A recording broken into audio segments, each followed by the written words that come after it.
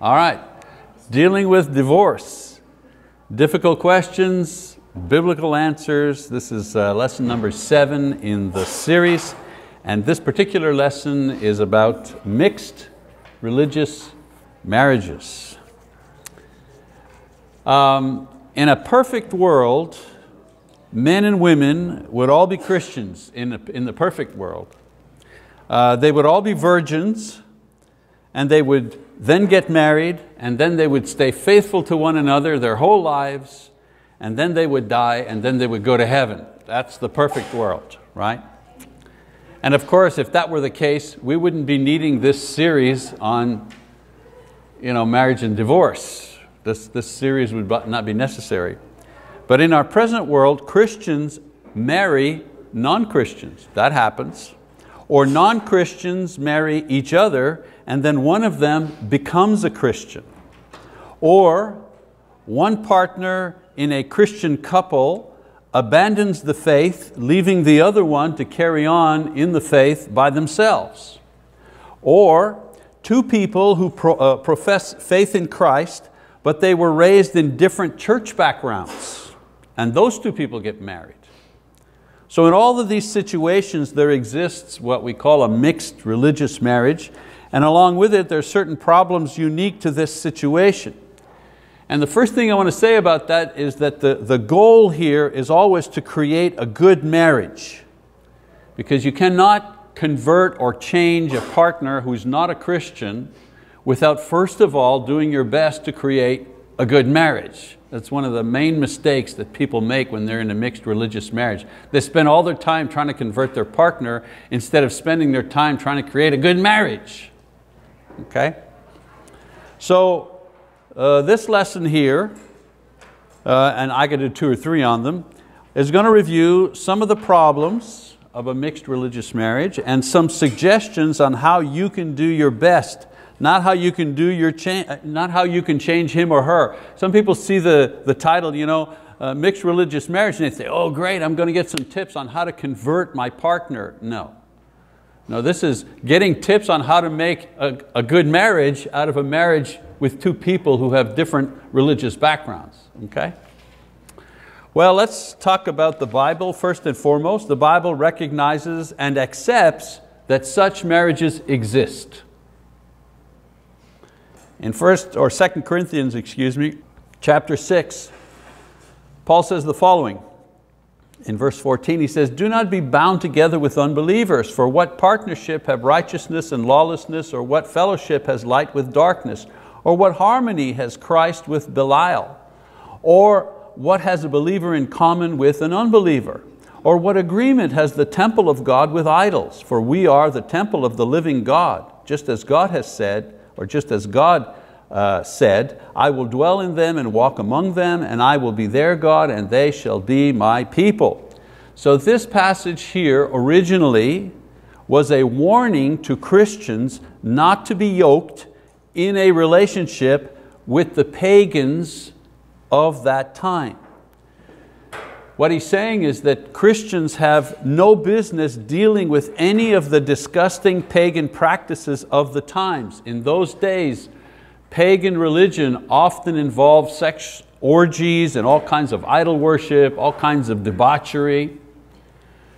And so Paul is saying, you're a Christian, what, what do you have to do with, with the pagan religions and those who follow this? Now, this passage here can include marriage to someone who was involved in a pagan lifestyle. And the point of the passage was to avoid the activities excuse me, of paganism. So some have used this passage here to say that a member of the Church of Christ cannot marry a member of the Nazarene church. And they said, well, it says it right here, you know, you know believers can't be yoked to unbelievers. Whoever said somebody who, who's in the church of the Nazarenes an unbeliever? So that's what happens when you, when you take a passage and you stretch it to make it fit what you want it to say. And to, to, to say that this passage here says that a member of the Church of Christ is forbidden to marry somebody who's a, a Baptist you know, is not, you know, they're, they're stretching it way too far. You're not talking about people who have a difference of what they believe about Christ. He's talking about pagans, idol worshippers, people who practiced you know, sexual orgies in the religious rites. He's talking about those kinds of people. So it, it's true that mixed religious marriages are difficult, and the general principle is that we shouldn't yoke ourselves unequally. That's wise advice in general. But you know, the same is true for two people who have you know, way different temperaments or education or finance or race. There's nothing in the Bible, for example, that says a white uh, man cannot marry a black woman. There's nothing in the Bible that says anything about that. I know there were laws in this country years ago that forbid that, but it wasn't based on the Bible. There's nothing illegal about that. Uh, the Bible doesn't forbid that. However, wise parents of both of these people will say, there's nothing that prevents you to marry, but understand that you're going to have an extra step of difficulty in your marriage. Why? Because you come from two radically different cultures, that's why. It's the same thing if someone who is very poor and grew up very poor and someone who grew up very rich and they decide to marry, they're allowed to marry, but they need to understand that they're going to have, you know, some, they're going to have some issues about money and about value and about handling money because they come from totally two different places. All right, so we need to kind of understand that idea. Paul wasn't even including a Christian who married a Jew. It wasn't against the Bible if a Christian married a Jew. Would they have problem? Absolutely. All right? So 2 Corinthians deals with a believer and actually pagan things and pagan people. Not two believers with different backgrounds or even a believer with an atheist, because an atheist isn't a pagan. An atheist doesn't believe anything. A pagan believes in worshiping idols. So let's, let's get that idea straight you know, from the get-go, all right? So in 1 Corinthians 7, uh, we'll read that in a minute. In the first century, religiously mixed marriages of the extreme kind, like pagan and Christians, were present in the church. and Paul addresses their concern. Now he says, don't do this, right? But they, they existed at that time because many people in the first century who became Christians were already married to people who were pagans. so, what, does he, what advice does he say to those people? Well, first of all, he says, don't divorce. Let me read the verse. He says, but to the rest I say, not the Lord, that if any brother has a wife who is an unbeliever and she consents to live with him, he must not divorce her. So in a situation like this, the believer, the Christian, might have thought, well, my, my partner is a, a non-believer. I guess I have grounds for divorce. And Paul is saying to that person, no, you don't. That just because your partner is not a believer, that's not a reason to divorce them. Just because a partner becomes unfaithful religiously, this is also not grounds for divorce. Second thing, this time verse 13, he says, live in peace. Remember, he's talking to religiously mixed here. He says, live in peace. And a woman who has an unbelieving husband and he consents to live with her, she must not send her husband away. Note the common thread here is that the unbeliever wants to, leave, uh, wants to live in peace. The acid test for staying together is not the conversion of the unbeliever, it's their willingness to live with the believer in peace despite their differences in the faith or faith and non-faith. Of course, Paul assumes that the believer will not abandon the relationship, so he puts the decision on the non-believer's shoulders. Okay. Number three, he says, your marriage is valid. He says, for the unbelieving husband is sanctified through his wife, and the unbelieving wife is sanctified through her believing husband, for otherwise your children are unclean, but now they are holy. Another passage where there's been you know, terrible misunderstanding. Some people think that it isn't a marriage in God's eyes if one of them is an unbeliever. Right here, Paul said that's, that's not the case. If this were true, every non-Christian couple would be living in adultery. What about two Hindus marrying? They're not Christians. Does God recognize them? Of course. God recognizes any marriage that fulfills His mandate. A man, a woman committed to living together as husband and wife for life.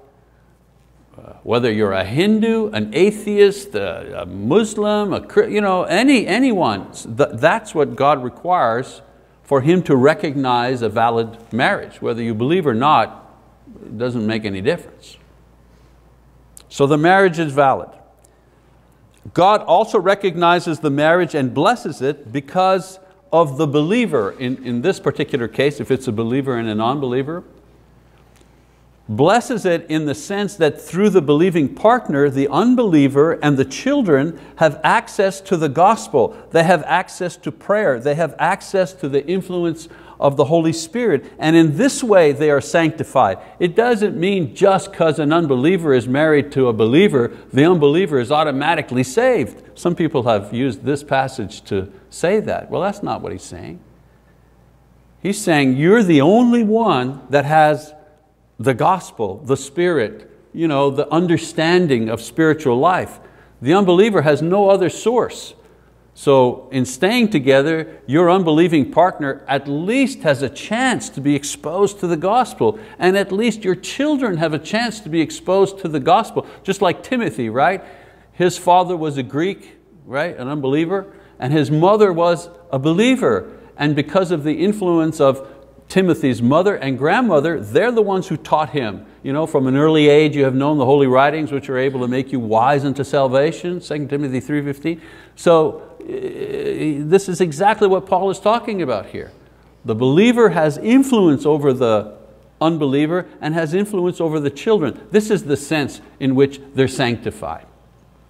Number four, he says, if the unbeliever leaves, the, the marriage is over verse 15.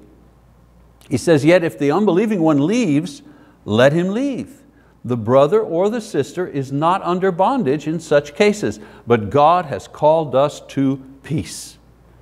So if the unbeliever leaves, the marriage is over. The believer is bound to the marriage and it is not discussed whether they would leave or not. They don't talk about the believer leaving because he's already said to the believer, if your partner is willing to live with you in faith, fine, just continue in that way.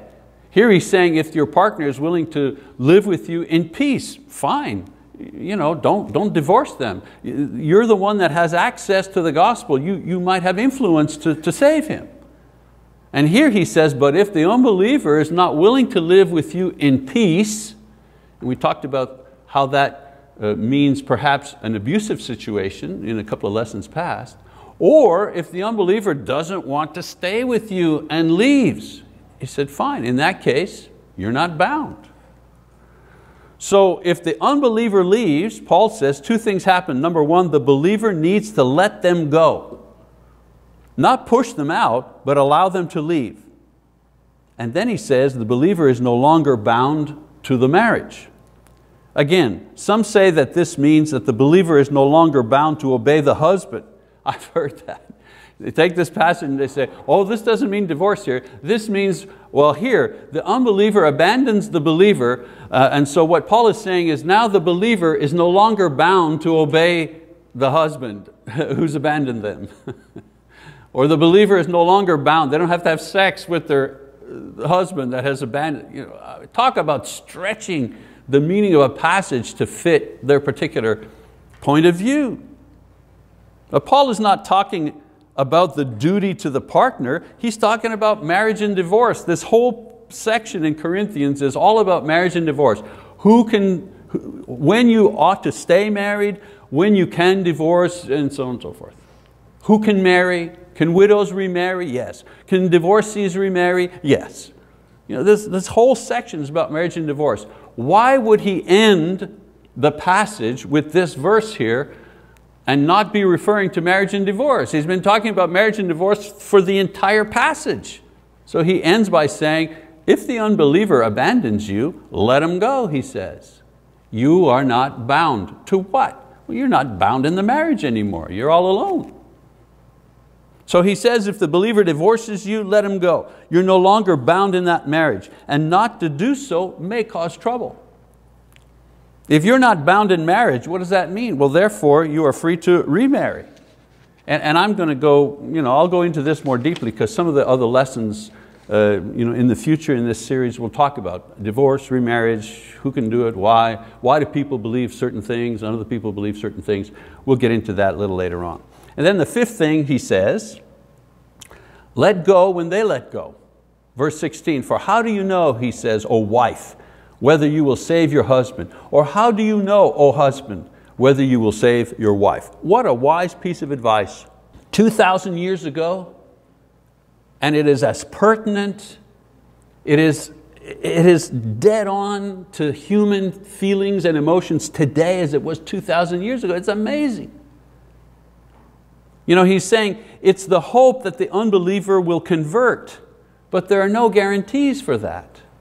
So long as they are with you, there's hope. But when they let go, then you need to let go too. Keeping them against their will, causing trouble, that's not going to save them. If they go, he says, let them. You're not guilty of divorce or guilty of losing their souls. He's talking to people and their guilt feelings. Oh dear, I didn't manage to convert him in the 10 years that we were together and he's left us, but I'm going to keep trying to go after him and maybe send him notes and visit him you know, and try to convert him and bring him back. You know? And Paul is saying, don't do that. If they abandon you, let them go. Let them go. Your main responsibility is to do your best for the marriage and give a good witness while you're in the marriage, but their soul is their responsibility, not your responsibility. Now there are other passages that deal, again, as I say, with divorce and remarriage. We'll talk about these in future lessons.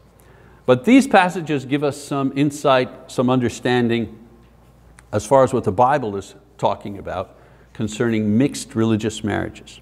So in 1st and 2nd Corinthians, Paul deals with the problems of mixed marriages and lays out general principles.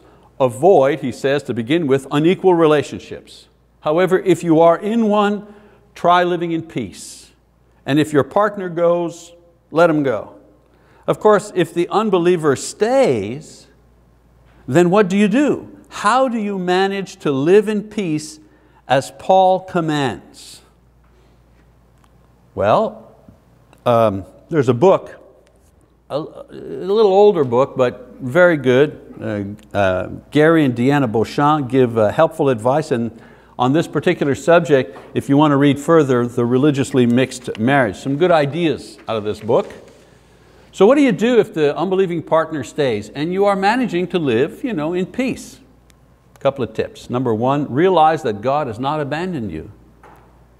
Some people feel guilty because they marry someone who is not a Christian or someone who has been raised in another religious environment, a Catholic or Baptist, whatever. Others feel separated from church friends because of their situation with a new spouse or one who has left the church. The first step is to understand that God has not forsaken or abandoned you. You're not alone. Paul says in Romans 8, but in all these things we overwhelmingly conquer through Him who loved us. For I am convinced that neither death, nor life, nor angels, nor principalities, nor things present, nor things to come, nor powers, nor height, nor depth, nor any other created thing will be able to separate us from the love of God, which is in Christ Jesus our Lord. So if all of these things cannot separate us from God's love, certainly being married to a non-believer or the believer of another faith won't, won't separate us from God either. God is the God of the perfect, but He's also the God of the imperfect. And He will support you and love you as you work out your relationship with an unbelieving spouse. So tip number one, or rule number one, realize God is with you. Number two, communicate positively about your religion with your partner. Since religious differences can be you know, an acute sore spot in a relationship, both partners have to learn to communicate positively about the subject when it's discussed. This means, for example, it's okay not to agree on fundamentals, but be willing to express our point of view. I understand that you don't believe the way I do, you understand that I don't believe the way you do, and with that understanding, let's talk because you got to talk about it. Avoiding the temptation you know, to label the other person in negative terms because they're different religiously. I mean, you, you, you want to start a fist fight? Just say about your wife's religion. Well, that's dumb. What a goofy set of doctrines. Oh, your religion's all about emotion. I mean, you know, do you really, are you really trying here? making sure that we don't use religion as the battleground for problems that have nothing to do with religion. Getting into an argument or a fight you know, and using religion as the pretext when in reality the real problem is you were supposed to be home for supper and uh, you came in an hour late because you were at work talking with your buddies and the dinner was cold by the time you got home and you didn't even say a word. You just sat down and started eating. And then something about church you know, that you had to go to tomorrow night. Oh, I got a meeting, a men's meeting tomorrow at church. And then the fight begins. Well, the fight's not about church. the fight's about your insensitivity, your, your, your selfishness. That's what the fight is about. So the idea is you know, using religion as the pretext to fight about the kids and about money when religion has nothing to do with it. Allow the love of God and the power of the Spirit, the influence of God's word, the witness of our actions, let those be the tools by which we convince the unbelieving spouse that to believe is better than not to believe. That's true communication. Respect the things you don't agree with in religion. Respect is okay. You're not saying you believe if you respect. When I went to, to Israel many, many years ago, the, the guide took us to uh, uh, a, um, uh, the, the mosque that's on the hill uh, in Jerusalem, very you know, holy place for Muslims. And they said you need to remove your shoes before you enter in. You're not allowed to take pictures. You have to be respectful. And we were. I removed my shoes. I, I put my camera, as, as tempting as it was to take a picture inside. Uh, you know what I'm saying? I showed respect. I don't agree with all this stuff.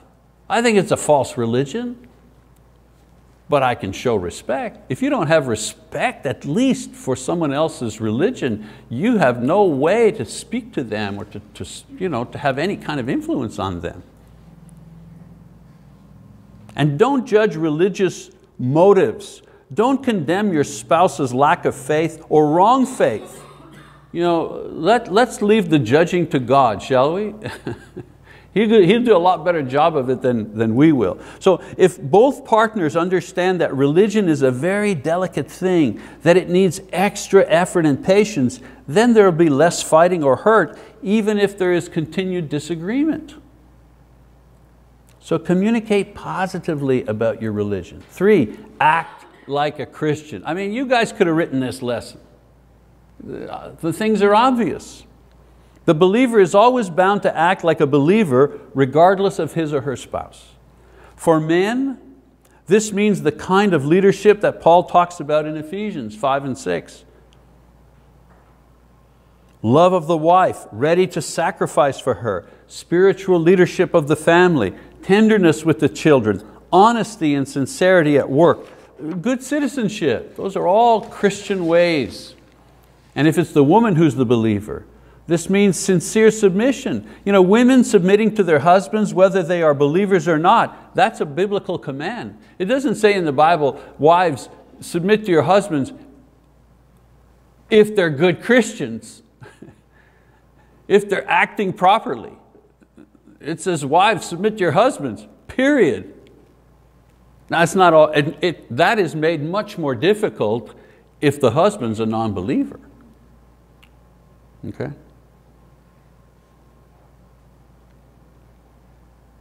But with the help of Christ, it can be done. The rule of thumb, submit unless it leads you to personal sin.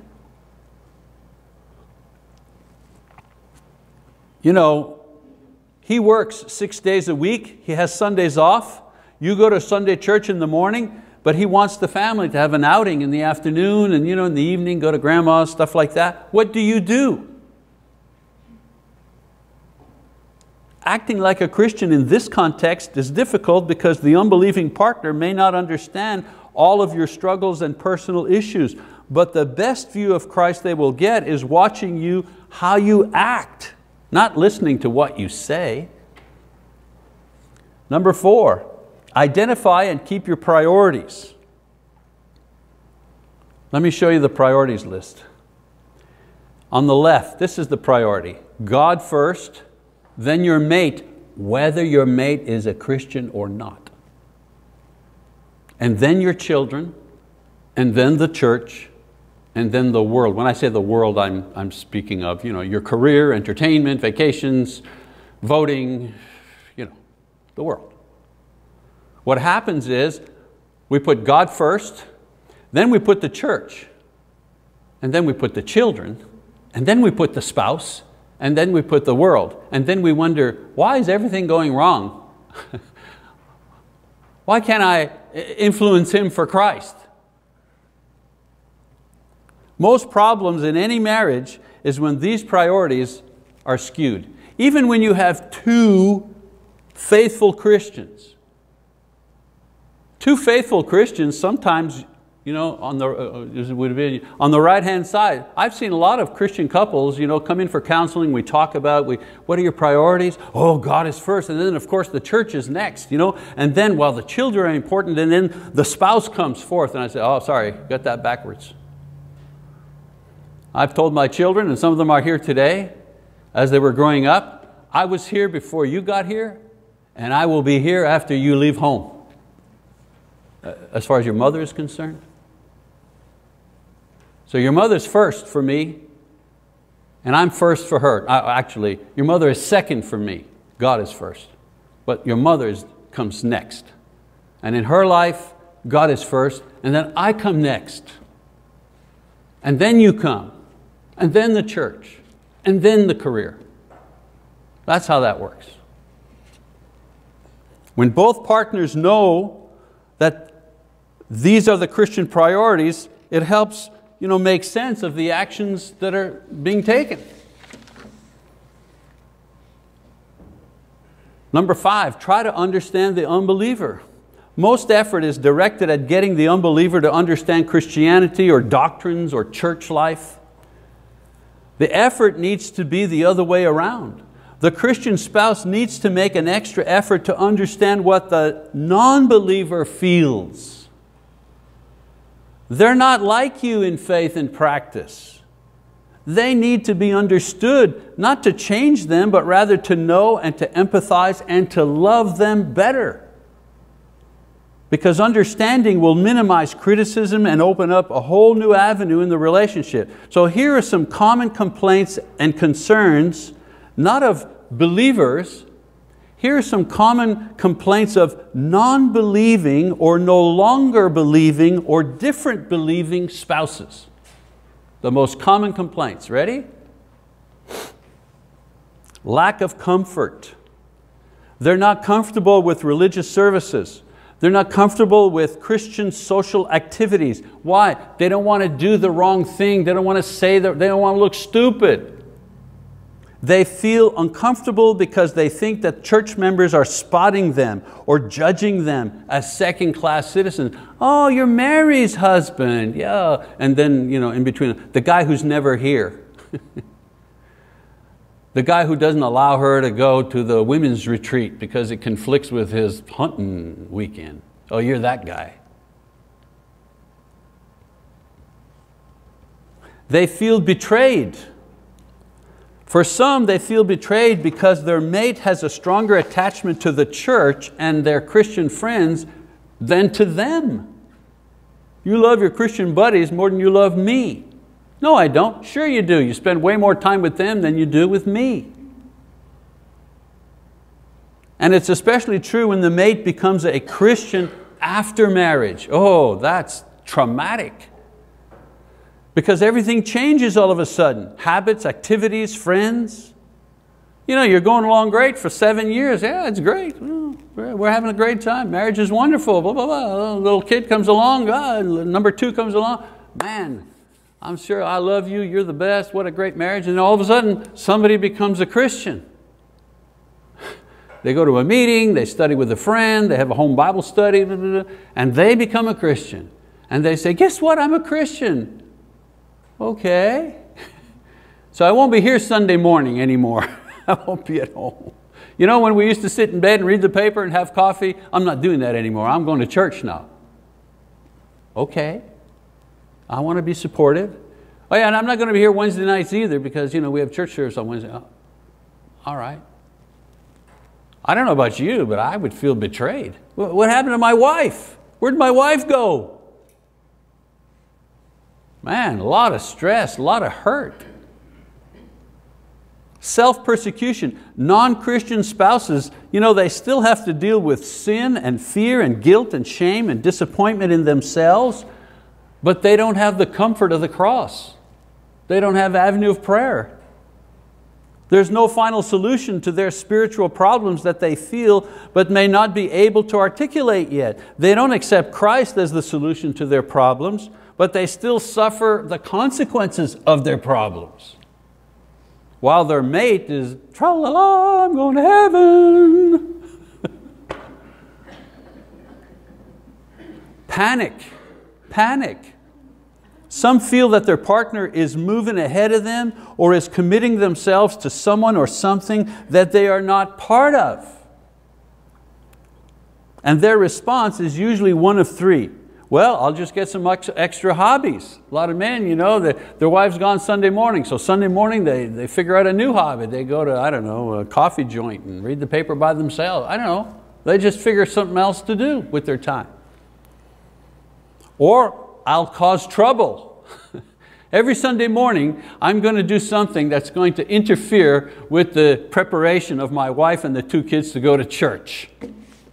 I'm going to say, hey, hey, hey, you didn't iron my shirt. I need the shirt today. You know, well, honey, it's 20, I'm going to be late. Oh, I need my shirt, you know, passive aggressive stuff. Or, or, well, she seems happier. She seems more at peace with herself. I've met some of these Christian people. They've accepted me. They, they just, you know, maybe there's something there. Maybe there's something there for me and they follow along. We're hoping that, that that's what will happen. But we need to understand when that doesn't happen, you know, the non-believer or the different believer person, they're going through a, quite a traumatic time. Feelings of resentment. Religion is stupid. It's wasting my partner's life, my family's time, and my family's money. I remember back in Montreal, this is no word of a lie, a woman had been faithful at church for 25 years. She went to church, same church, and her husband was not a non-believer, right to the bitter end. She died, she was buried, and he sued the church to get back all the money that she had contributed for the 25 years. I mean, ugh. he was still, you know, he was still mad at her in the grave. He didn't win, I mean, you know, the lawyer laughed at him. You know. Could you imagine? But that's how, that's how upset he was. And so resentment, it causes nothing but arguments and it makes both the unbeliever and the believer depressed. Prejudice. My wife's church are fanatics. I married a fanatic and I don't want to become a fanatic and of course struggle for control. It's one thing for my spouse to believe in this, but what about my children? So then you start having debates about how many times a week you go to church, his church, her church. You don't want the children to be indoctrinated. I don't want my kids to be brainwashed with this Christianity stuff or your brand of Christianity stuff. So all of these and other feelings are legitimate concerns for the unbeliever and they need to be addressed whether they are converted or not. If it's the wife, she needs to understand that this is what he's going through and she needs to you know, deal with that. I tell men, uh, excuse me, I tell women you know, who are getting married or having issues in their marriage, you know, what does my husband want? You know, I, I, never, I don't know what he wants. You know, and I tell him, more than anything else, reassurance. he needs reassurance that he's like number two, he's still number two. There's God and there's still him. And then men say, well, what about me? What, what, uh, what, uh, my wife, what does she need? Uh, reassurance. She needs to be reassured that she's still number two. Every wife, every husband receives that reassurance in one way or another, but reassurance so, so, so very important. For uh, solutions, we go back to Paul's original you know, solutions to these problems. We go back to Paul's original ideas, avoid unequal relationships, and if you're in one, strive for peace and unity in the marriage first. In other words, you'll never convert your partner if you do not have a stable, happy marriage.